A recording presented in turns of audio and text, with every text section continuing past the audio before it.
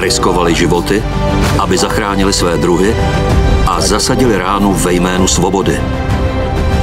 Poznejte příběhy hrdinů, kteří za své činy Náboje z mušket a kartáčové náboje letaly všude kolem mě.